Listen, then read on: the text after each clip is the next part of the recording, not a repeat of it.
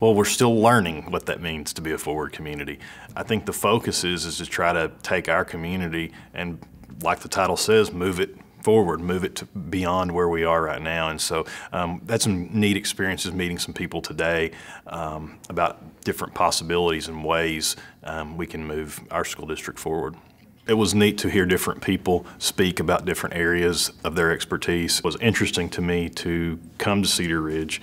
Um, I came from Central Arkansas and um, was a high school principal, and just the potential um, is what I saw and was, was and was what was attractive.